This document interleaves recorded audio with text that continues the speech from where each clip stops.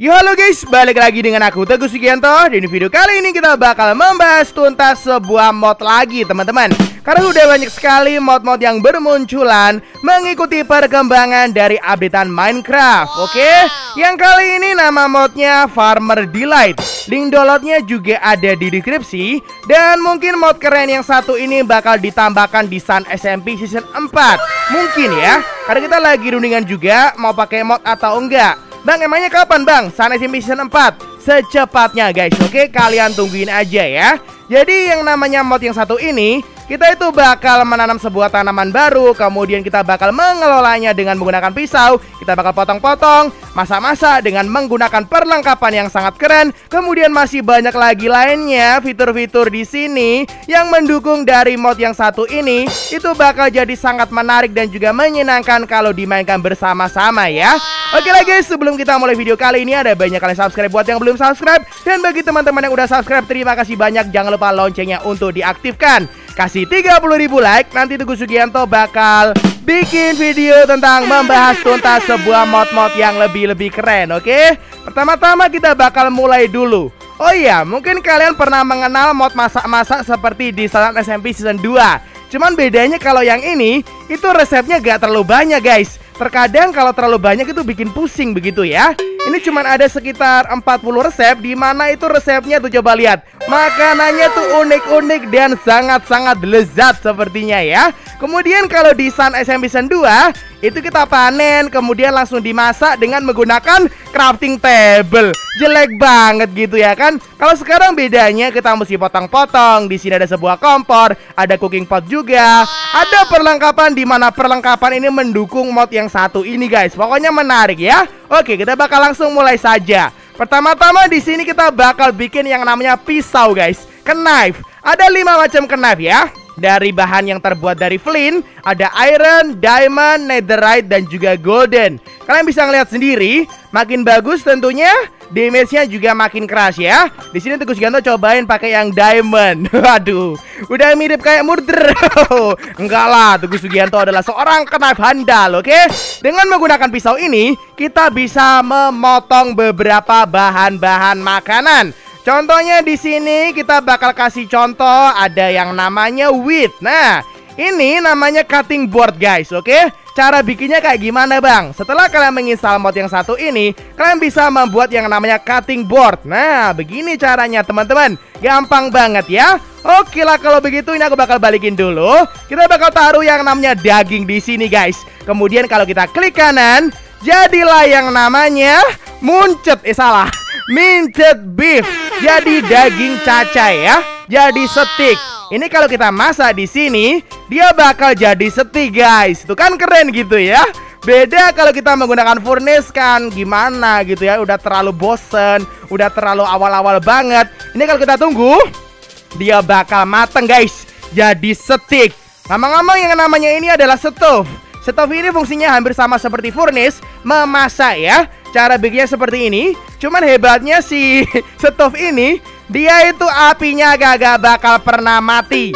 Api abadi cuy. Hebat kan? Luar biasa sudah ya. Tuh coba lihat.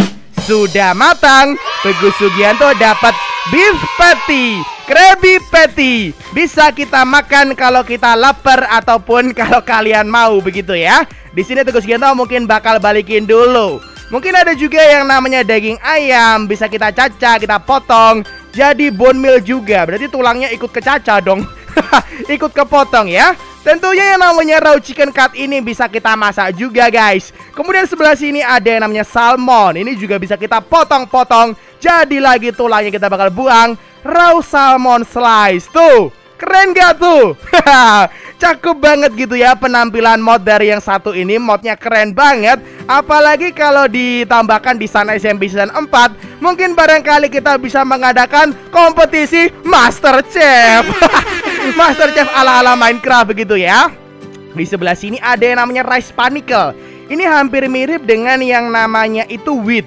Hampir mirip ya Cuman beda-beda dikit lah. Ini kalau kita potong Dia bakal jadi beras Kemudian kalau wheat kita bakal cobain. Nope. Gak jadi kalau wheat Kalau wheat gak jadi cuy. Malah hancur papan potongnya. Ya sudahlah kalau begitu. Kalau yang tadi rice panicle dia jadi rice dan juga setrau. Setrau ini adalah jerami kalau dalam bahasa Indonesia, bukan mugiwara ya. Kalau Mugiwara itu topi jerami Kalian jangan kebanyakan nonton One Piece. Oke, ini bakal jadi sangat berguna. Nanti Tugas Gento bakal jelasin di selanjutnya. Pokoknya kalian jangan skip-skip dulu ya. Kemudian bang, tadi kok ada kayu itu bang? Itu gunanya buat apaan bang? Nah, Kayu di sini kalau kita megang sebuah kampak, kita bakal potong di cutting board yang tadi. Sabar guys, cutting boardnya tadi Teguh Sugianto hancur.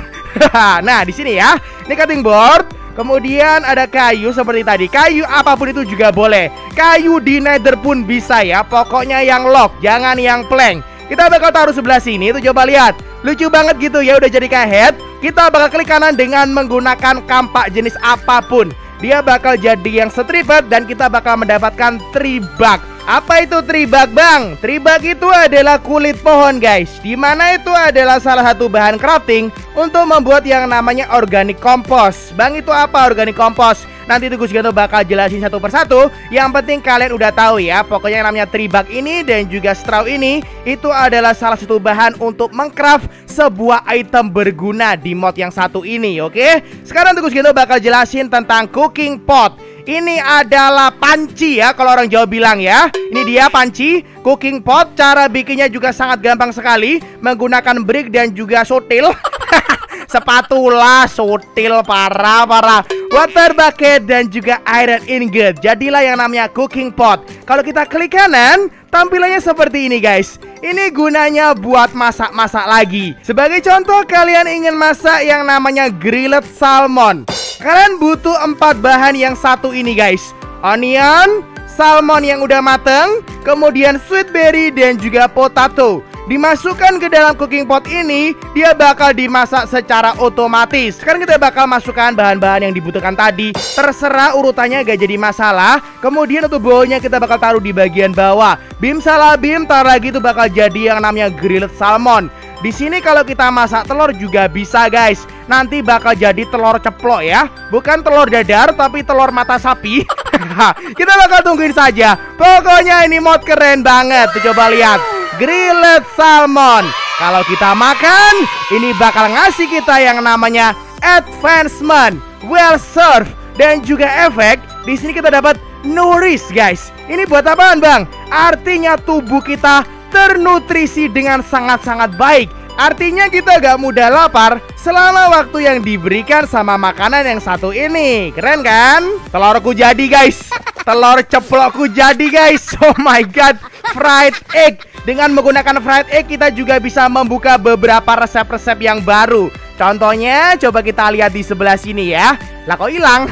Oh ini dia ya Egg sandwich. Cara bikinnya menggunakan crafting table Kita butuh bread dan juga fried egg. Pokoknya ini gampang banget. Dan kalau menurut Gus Gento ini keren banget buat dimainkan bersama-sama di sebuah server begitu ya. Setelah kalian udah aku liatin bagaimana cara memproses masanya, sekarang Teguh Gento bakal ngenalin kalian sama macam-macam tanaman yang tumbuh di dunia yang satu ini. Kalau kalian lihat, mungkin kalian bakal menemui beberapa tumbuhan yang tumbuh secara natural guys di dunia yang satu ini ya. Nah, sebagai contoh, ini dia. Oke lah kalau begitu. Di sini ada enam macam tanaman. Ini pertama dia, ada sibit, ubi laut ya. Ada wild potato, ada wild carrot, tomato vine, wild onion dan juga wild cabbage. Oke. Okay? Kalau ini kita hancurin dengan menggunakan game mode survival Kalau kreatif gak bisa ya. Mesti survival Dia bakal jadi bahan-bahan yang kita butuhkan. Tuh kita dapat beetroot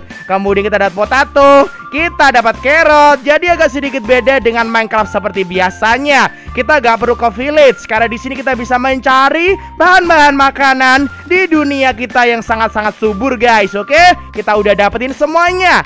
Cabbage seeds Ya. Kita gak dapet cabbage-nya dong Kemudian kalau kita mengumpulkan jadi 9 blok beberapa tanaman yang tadi, contohnya seperti onion, kemudian tomato, kemudian cabbage, dia bakal jadi dekorasi blok guys. Nah, bentuknya seperti ini ya. Ini semisal kita hancurin, kemudian kalau kita craft jadilah yang namanya rice panicle, oke? Okay?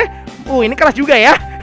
yang ini keras juga cuy. Kalau kita craft dia bakal jadi 9 cabbage. Selanjutnya di bagian sini ada yang namanya basket. Artinya keranjang. Bukan bola basket ya Bola keranjang itu beda lagi. Kalau yang ini itu keranjang. Ini gunanya sama persis seperti chest Bisa menyimpan barang-barang. Cuman hebatnya guys. Hebatnya ya. Nih contoh tuh Gus bakal ambil. Kalau kita langsung lempar dia tuh bakal langsung masuk. Mesti diaktifin dulu apa? Sabar, sabar, sabar. Ini pokoknya si basket harus aktif Tuh, langsung hilang ya. Beda kalau chess. Kalau chess kita mesti bukain dulu Kemudian taruh barangnya. Kalau yang namanya basket ini Kita tinggal lempar cuy. Tuh, semuanya bakal langsung masuk Ke dalam basket.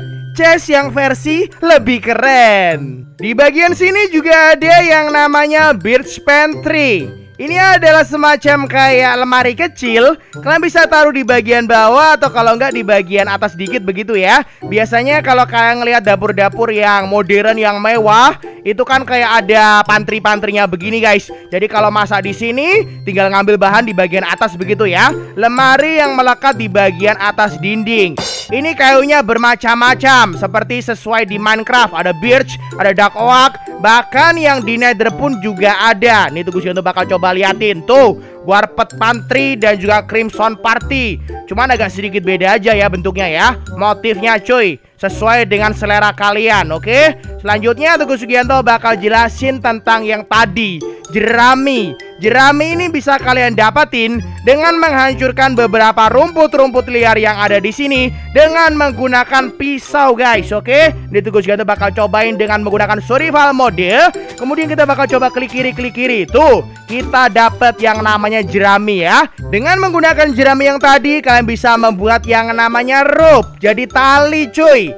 Nah yang mana tali ini juga bakal berguna sekali untuk membuat yang namanya lead Kalau kalian di Minecraft, lead butuh yang namanya string dan juga slime ball. Kalau lagi malam gak ada bulan, slime bakal susah sekali buat ditemukan begitu ya. Tapi dengan mengadakan rumput-rumput yang ada di sini Kalian bisa membuat lead guys. Jadi kalian bisa langsung menculik sebuah hewan-hewan lucu yang ada di dunia Minecraft Kemudian satu lagi, kita juga bisa yang namanya bikin safety net, oke? Okay? Ini Tugu Siano bakal contohin sama kalian ya. Kemudian rope juga. Bang, gunanya rope selain itu buat apa? Buat turun. Semisal kalian lagi ada di gunung, sabar ya guys ya. Teguh Sugianto bakal pergi ke sebuah gunung. Nah, kemudian kalau kalian jatuh kan sakit tuh. Semisal ini Ravin. Contoh ini Ravin ya guys ya. Kalian gak punya air, khawatir jatuh sakit. Jadi mendingan kalian menggunakan yang namanya tali ini guys Dengan menggunakan tali Kalian bisa turun secara perlahan-lahan Nih tunggu saya bakal contohin ya Tuh langsung turun cuy Jadi Tarsan Awo Tugu Sugianto turun lewat sebuah tali Hebat kan Kemudian satu lagi yang namanya safety net Ini kalau kita jatuh di sini Itu gak bakal sakit lagi guys Ini hampir mirip dengan slime ball begitu ya sebagai contoh, Teguh Janto bakal terbang cukup tinggi. Kemudian kita bakal ganti game mode survival. Kita bakal jatuh kan harusnya kan? Tuing tuh. Gak jatuh Teguh Sugianto. Bokongku empuk guys. Apa kamu lihat-lihat? Ku pisau kamu lo ya. Canda-canda doang, canda kok. Tanaman sudah, bahan-bahan juga udah, cara masak udah, beberapa perlengkapan dan juga peralatan juga sudah. Kalau begitu sekarang kita bakal membahas tentang rich soil. Ini adalah tanah di mana tanah ini bakal jadi sangat-sangat subur sekali. Beda sama dirt yang udah dipacul gitu ya guys ya. Ini lebih subur dari apa pun itu. Cara bikinnya kita membutuhkan yang namanya organic compost guys. Nah seperti yang aku udah bilang tadi Yang namanya organic compost ini Membutuhkan kulit dari pohon dan juga straw juga ya. Sabar, nih Tugus Ganto bakal tunjukin sama kalian. Cara bikinnya seperti ini. Satu dirt dan juga straw Atau kalian juga bisa menggunakan yang namanya rotten flesh Untuk sebagai penggantinya begitu ya. Dia bakal jadi yang namanya organic compost. Organic compost ini kalau kita taruh di dalam dunia kalian Kita bakal diemin selama beberapa jam Tuh coba lihat ya. Ada kayak partikel-partikel keluar ke bagian atas Dia nantinya bakal berubah jadi yang namanya red soil. Tapi butuh waktu guys Sekitar mungkin sehari kalau nggak dua hari di Minecraft Dia bakal jadi ini ini adalah yang namanya rich soil, tanah yang sangat subur sekali. Kalau kita pacul, kemudian kita taruh yang namanya biji, dia bakal dapat boost seperti kalau kita ngasih ke bone meal. Mana ya?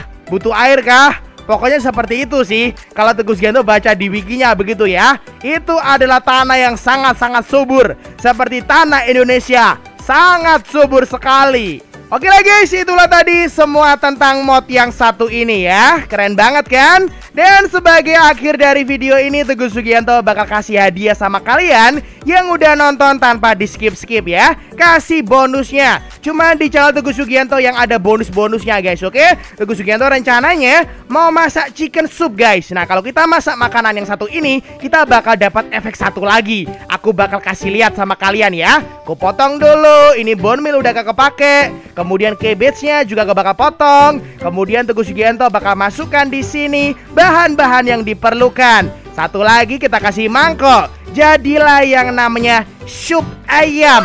Sup yang sangat lezat, hangat. Oke, jadilah dia guys ya. Chicken soup. Kalau kita makan yang satu ini, kita bakal dapat salah satu advancement lagi. Warm and cozy. Kemudian kita juga dapat comfort Bang, gunanya comfort ini buat apaan bang? Comfort ini kita bakal anti hunger, anti slowness dan juga anti weakness ya guys ya. Hebat bukan yang namanya sup ayam bisa menghalau tiga efek sekaligus. Kemudian yang terakhir kali, Teguh Sugianto juga bakal bikin coklat panas. Cara bikinnya kalian menggunakan susu di dalam ember, kemudian kalian craft dengan menggunakan crafting table dia harusnya jadi milk bottle. Oh, harus begitu ya. Harus kayak begitu cuy. Gak boleh asal-asalan, oke? Okay? Udah jadi milk bottle, kemudian kita bakal masukkan ke sebelah sini satu aja ya. Kita bakal kasih dua cocoa bean dan satu gula. Oke, sudah jadi hot cocoa. Serve on glass bottle. Karena ini minuman dia harus disajikan dengan menggunakan botol Bukan dengan mangkok ya guys ya Nih coba lihat Habis makan sup ayam, habis makan grilled salmon, sekarang Teguh Sugianto minum susu coklat. Ayo diminum dong. Oke lah guys, mungkin sekian dulu ya video kita kali ini. Jadi bagi teman-teman yang suka dengan mod yang satu ini, jangan lupa kalian subscribe buat yang belum subscribe dan kasih 30 ribu like. Nanti Teguh Sugianto bakal bikin video lagi tentang membahas tuntas sebuah mod-mod keren, oke? Jadi pastikan kalian tungguin saja ya. Dan semoga saja mod yang satu ini bisa ditambahkan di sana season 4. Soalnya ini keren banget. Teguh Sugianto mau makanan-makanan yang enak begitu ya. Oke, bertemu lagi dengan saya Teguh Sugianto di video akan datang. See you next time. Bye bye.